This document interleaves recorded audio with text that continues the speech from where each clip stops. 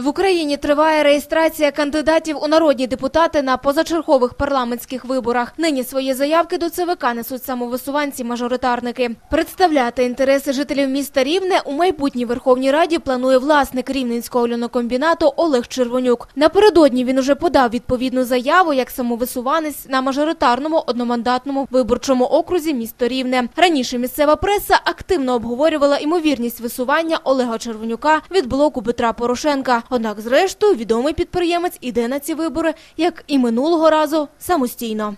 Я думаю, що насправді в мене непогані шанси, тому що сьогодні наш народ, наша нація втомилася від е, політиків пустоболів, які просто чешуть язиками, нічого не роблять. І сьогодні для нашої держави потрібні реальні приклади розвитку нашої країни, реальні приклади розвитку економіки для того, щоб бути насправді незалежною країною, для того, щоб боротися з нашими ворогами, загарбниками. Не тільки е, ми всі втомилися від е, різноманіття партій. Ну я особисто теж втомився від е, тої кількості партій, які сьогодні є.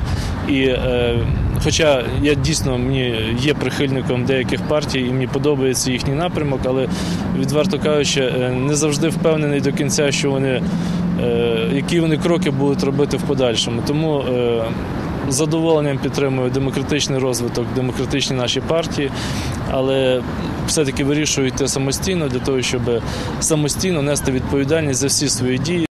Нагадаємо, у 2012 році Олег Червонюк уже балотувався від Рівного як самовисуванець і зайняв друге місце на окрузі, поступившись кандидатові від так званої об'єднаної опозиції. Саме політичні бренди на минулих парламентських виборах 2012 року зіграли ключову роль. Переважна більшість електорату голосувала не за особистостей чи програми, а за розкручені партійні ярлики. Між тим, про ефективність роботи майбутнього народного обранця мають свідчити як його попередні досягнення, так і програма дій в парламенті.